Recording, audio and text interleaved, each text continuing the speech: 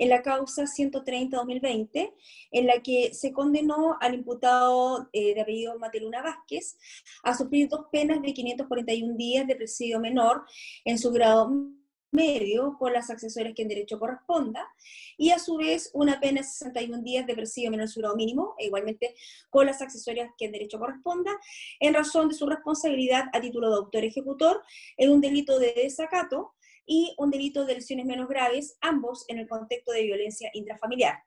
Dable destacar que el imputado ya tenía una causa anterior en la que en sede de garantía se le había prohibido aproximarse a la víctima por episodios de violencia intrafamiliar y obviamente el imputado hace caso omiso a la orden del tribunal y esto genera la causa de desacato y en ese contexto de que el imputado se aproxima a la víctima, se genera un arremetimiento contra ella y se genera el resultado de las lesiones, lo cual trajo como consecuencia, obviamente, la condena que se acaba de mencionar precedentemente.